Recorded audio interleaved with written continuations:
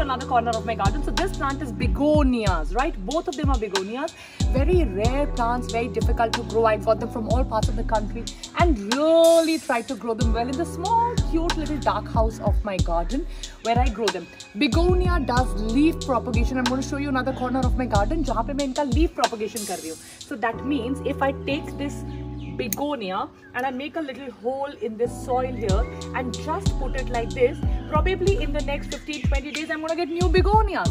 This is a bat begonia. You can google about it a bat winged begonia. I'm very scared about bats now after the COVID-19 but never mind this is a very beautiful starry night plant called the bat begonia because the leaves look like the bat leaves. And this is a beautiful normal begonia which sees such amazing inflorescence this is a oxalis, very, very beautiful rare plant and I'm not going to cut its leaf.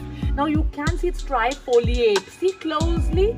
See the three leaves trifoliate. What's beautiful about this umbrella plant is that in the night, the leaves close like this. It's also called the shamrock plant. I told you about oxalis morphology make runners. It grows by runners.